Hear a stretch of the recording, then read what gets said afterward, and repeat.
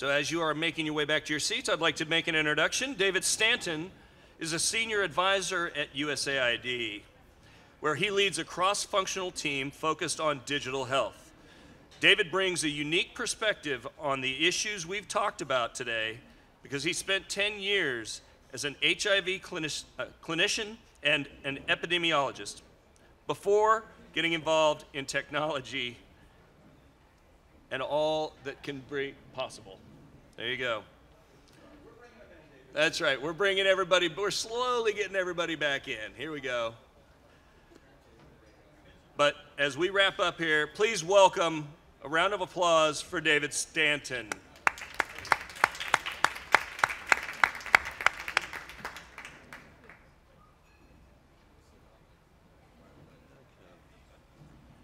trying to figure out. Hello, everyone. Um, uh, uh, thank you for uh, inviting me here today. Uh, it's been a fabulous meeting, fat, very interesting. I don't have slides, so I'm not worried. Um, so some of you may have seen me come and go. Earlier today, uh, I had to run over to Crystal City, Virginia, where my offices are, to provide opening remarks to a session on digital health for USAID staff that are in from the field. So, and now I'm here doing closing remarks for this, and that's, that's great.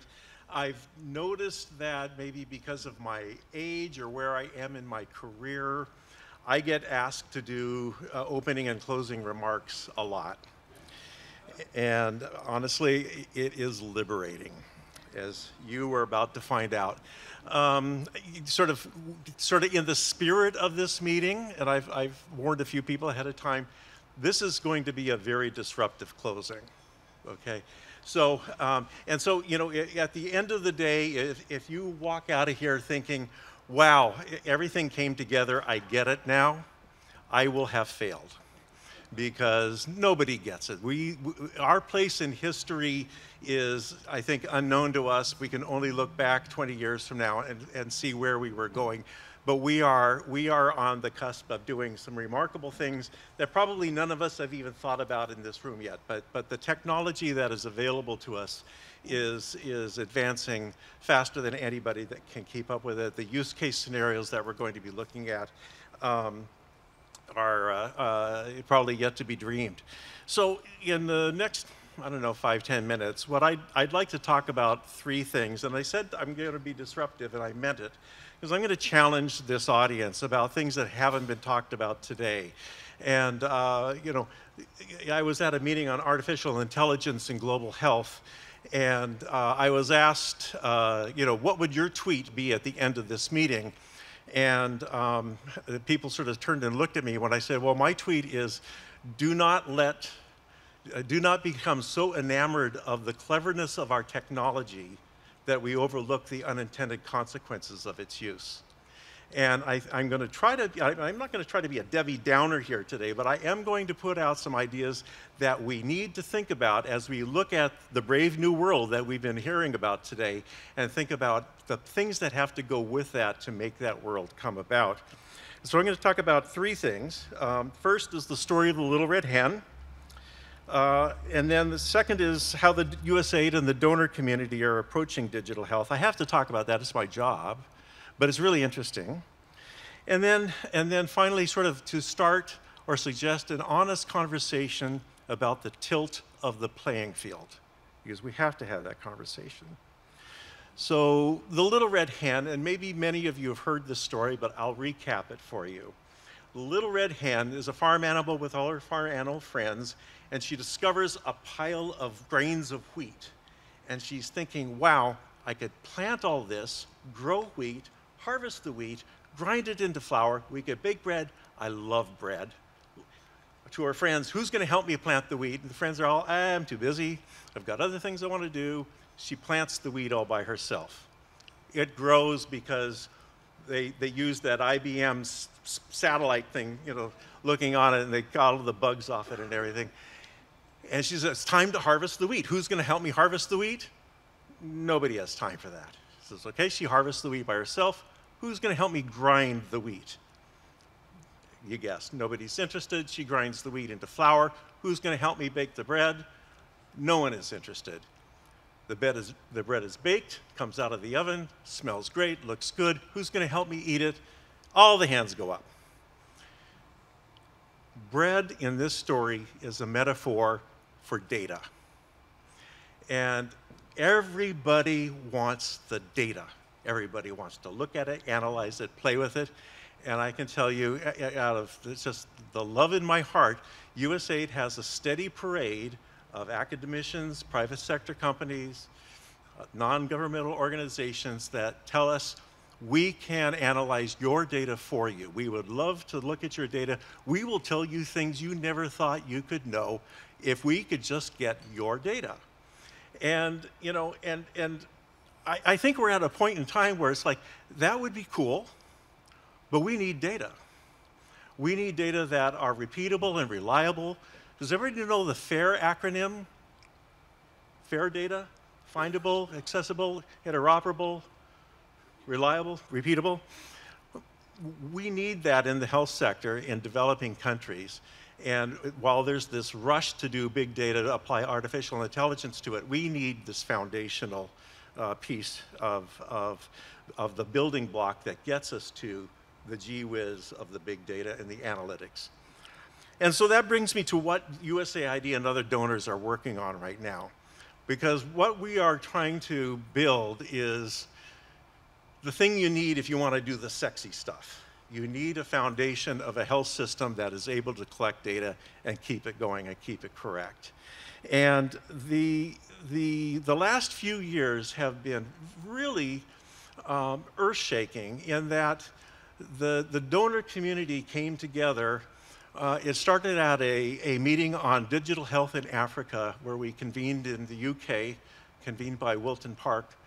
And we had a side meeting among the donors, us, the UK, the Norwegians, Swedes, others. And, and we, we had heard this story about the fragmentation of the health information systems in sub Saharan Africa.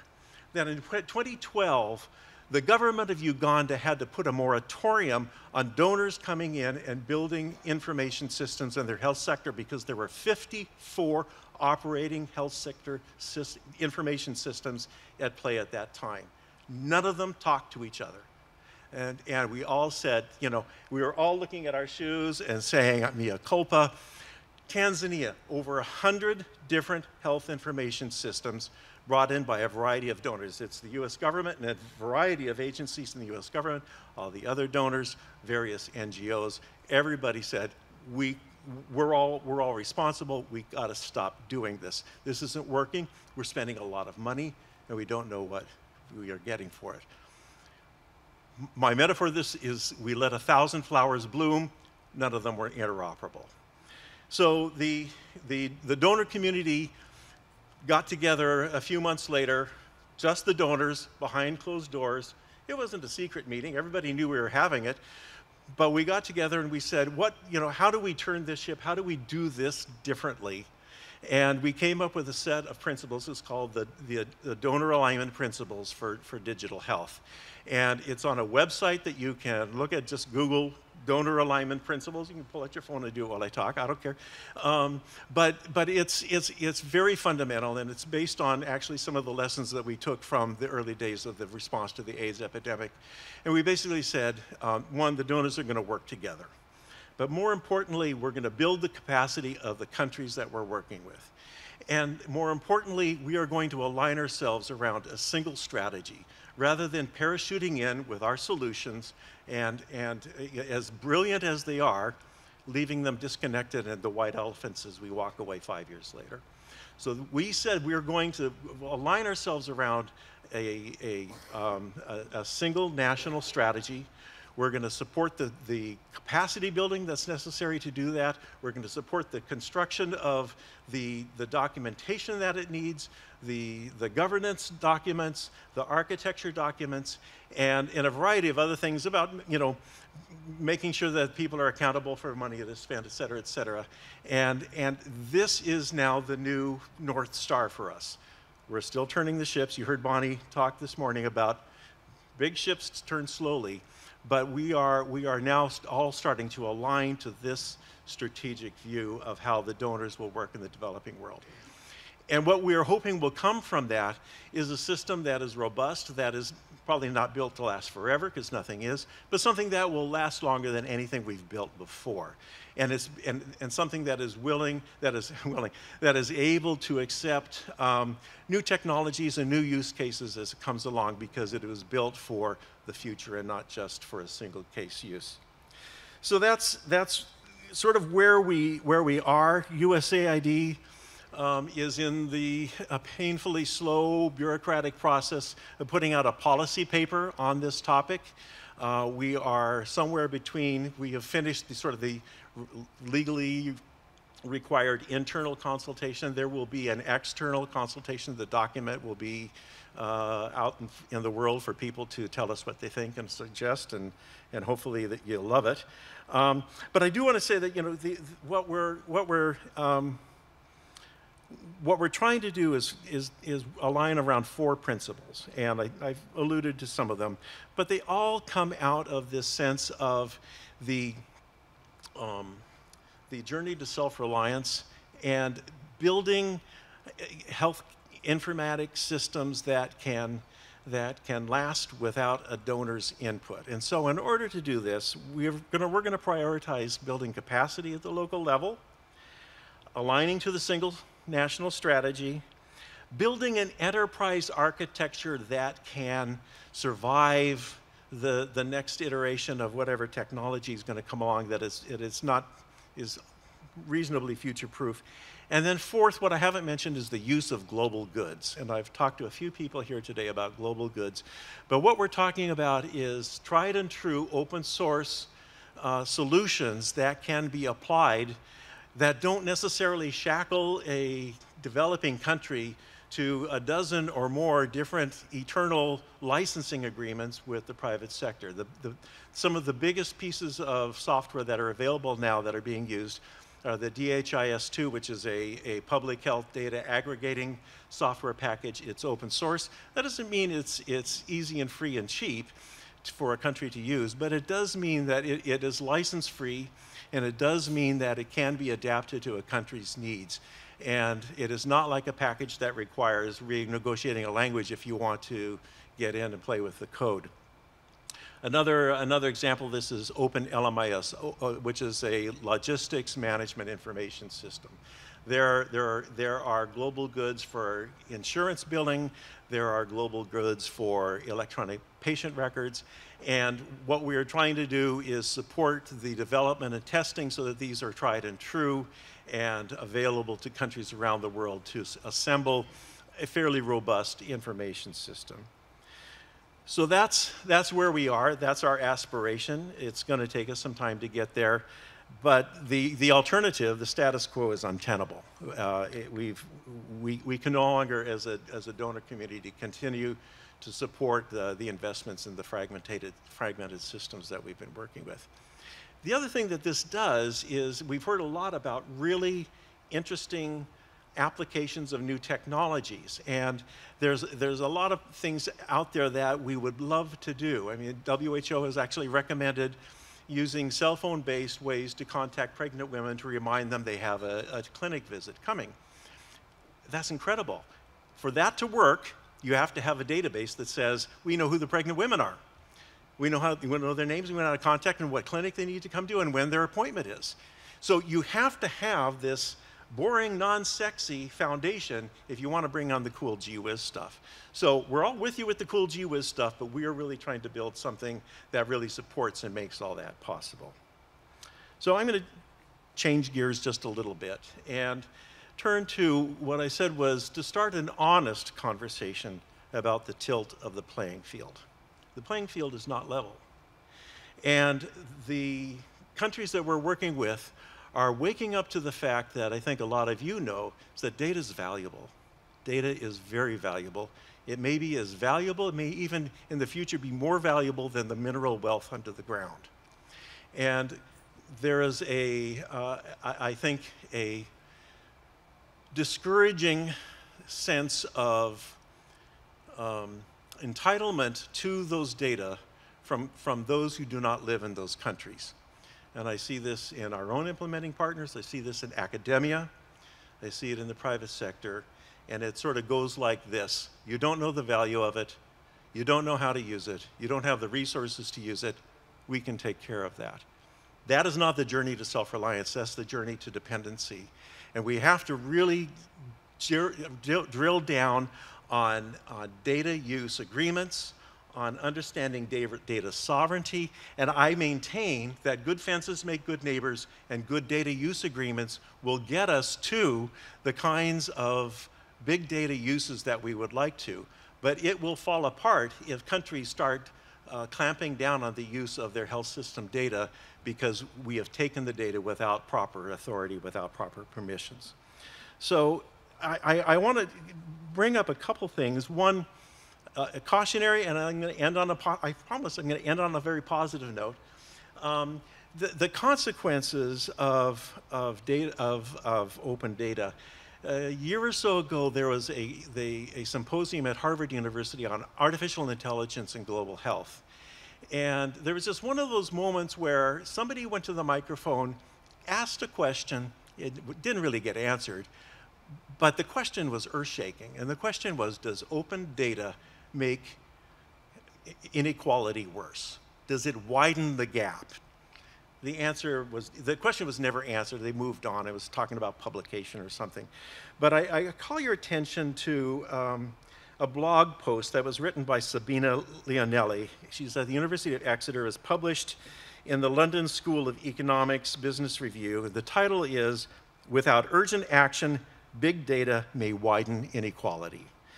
And in this blog, she points out three concerns that she has. Some of them are not applicable to development necessarily, but I think they're all things we need to think about. One is the, first is there's an there's unsustainable digital landscape and the urgent need to find business models that can support data storage, sharing, and analysis. Everybody has data, but if we're going to bring data into data lakes and into uh, systems that can pull data from disparate places and analyze it and use it. We need a place to put those data. We need a third party that is trusted and has the, the capacity to make data available on a, uh, and, and, and manage and govern the access to the data. We don't have this. What I see happening though is bespoke systems that say, well, I want this, this, this data, and we'll, we'll sign all the papers, we can put it there, and I can analyze and get what I want out of it. But there really isn't a system to pull these things together to really realize the promise of big data. The second is, no surprise, the quality and credibility of the data themselves. We generate the data quickly, but uh, data cleaning takes probably 10 times the time it takes to collect it, but it has to be done. The third concern is, is probably the one that, that worries me the most, and, and that is around the extent to which big and open data are reinforcing existing social divides. For instance, by, by reinforcing data sources that represent only privileged individuals or societies and communities.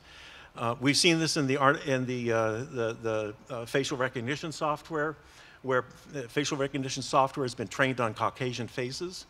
Doesn't do very well with, with people of color. Uh, we've seen this in a, a, brilliant company that demonstrated an artificial intelligence system for diagnosing illness but it's based on, you know, if, if, you, if you Google it itches here, what do you get? It's based on a self-selected, so basically they've done machine learning on hypochondriacs. And, and, and, and that's useful, but what you need is, is machine learning on a broad swath of humanity and not just those who are willing to uh, list their symptoms. And these are the things that have to be fixed. And so the fix is one, it has to be done urgently. The other fix is substantial investments in data governance and stewardship. We're investing a lot in software, hardware, technology. We need to invest in the policy side of this equation. What are the material transfer agreements for the 21st century? Material transfer agreements in the past used to cover the transport of blood samples and paper out of a country to another. How do you govern the transfer of digital information? And we really need to tackle that. And I don't think we've got a handle on that, but that needs a big, a big investment. We need to support fairness in data handling. We need to understand that you know, the, the journey to self-reliance means we respect the autonomy of the countries we work with. Uh, we need to invest in adequate data expertise and skills. Uh, clearly, I mean, in our own, uh, in my own setting, we need to invest in that, but we need to invest in countries' ability to analyze and use the data themselves. They can't be beholding on some other entity coming from outside to come in and tell them what's going on. They need to be able to know what's going on in their own country. And then we need finally the development of intelligent and ethical strategies for data sharing. So that's the, the first uh, issue I wanted to raise sort of from, from academia. The second is, I think, the positive one, and this is the concept of digital civics. Digital civics is a long-term research program uh, led by the Open Lab at Newcastle University in the UK, and they're exploring how digital technologies can empower citizens and communities. Um, it is citizen-driven design. So the research is being applied to education, public health, social care, local democracy, and a variety of other areas. A lot of what we're talking about is data systems that are driven by the top for the top. I'm a public health expert. I need to know everybody that has a cough in Washington, D.C., and, and I can tell you what's going on here. That is, that's fabulous, and I'm not criticizing that, but that is not the only way we can develop digital systems that benefit communities. And what digital civics does is it's citizen-derived design. It works on things like social care, community public health, education, local democracy, and they answer questions that are not earth-shaking. They will never get published globally, but there's like, where's the best place to put the bike lanes in my community? What's the future of our parks and open spaces? How do we improve mental health services in our community? And so these aren't the big data applications that are exciting, but they actually have immediate impact on people's lives, usually it's measurable, and, and people will notice that it's made a difference and it's empowering. So I, am going to stop there. Um, I'm going to stop being disruptive and, and thank all of you. And, and, and, and again, thank you to Premise. You brought my boss here. She was smiling when she came in. She was smiling when I left. Oh, thank you so much for that. Um, but just to say that we all see the massive opportunities in front of us. We're not quite sure what we have in our hands, but we know we have something big. And all I'm saying is that without a new rule book, we will fall short of the promise of these new technologies. So let's focus on the, the let's focus on the, uh, the brilliance of our, of our technology, but let's also not lose sight that these technologies can go astray and we can make some poor decisions. Let's, let's move forward in both the technological side and also on the policy and the ethical side. And with that, I'll end. Thank you very much.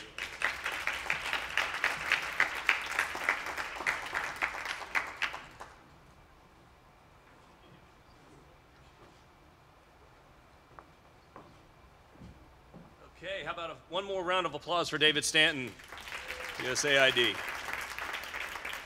Well, what an amazing afternoon, great day. Uh, thank you so much for joining us for this first ever Disrupting Development. Uh, we look forward to doing it again in the future. Please join us over here for some cocktails and conversation afterwards, and uh, we look forward to next year. Thank you, guys.